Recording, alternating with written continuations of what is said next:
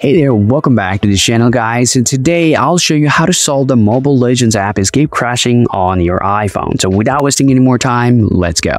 If the Mobile Legends keep crash on your iPhone, the first thing that you want to do here is try out the solution 1.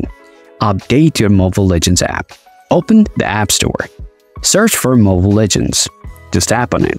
And here you'll find out if there is any update available for the apps or not. If there is any update, go ahead and tap on Update. And now open up the Mobile Legends game and check whether your problem is fixed or not. After that, try out our next solution. Solution 2. Offload the Mobile Legends app. Open Settings, and scroll down, tap General, and now tap on iPhone Storage. Find out the Mobile Legends app from here. Tap on it. Tap on the Offload the app. Now tap Offload again and tap Reinstall app. Solution 3. Refresh the background app refresh. Tap Settings, scroll down, tap General, after that scroll down to Background App Refresh. Now again tap on Background App Refresh and simply go ahead and select Off. Quickly after that, just go ahead and try to restart your device and see what happens.